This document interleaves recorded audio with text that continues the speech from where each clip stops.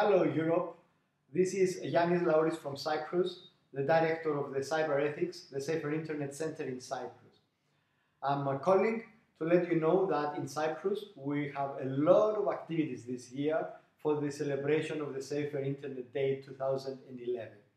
The most important high profile activity we have is the organization of a conference which is uh, being uh, mainly organized by the telecommunications company, uh, which last year had 600 participants, and this year we're expecting more. So we hope to have at least 600 people attending our conference in which we're going to have a dialogue with the children and with the parents and with the educators.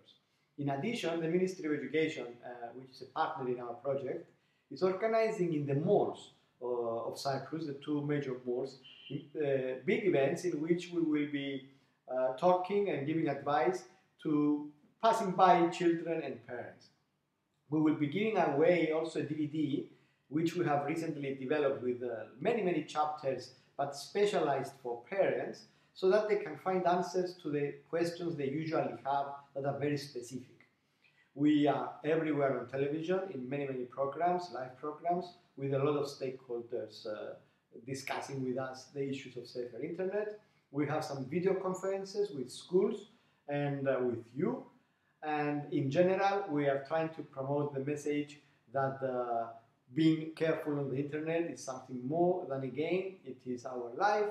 And we hope that uh, our activities will be more empowering for the children rather than forbidding. Thank you and good luck with your activities and wishes for a lot of media coverages.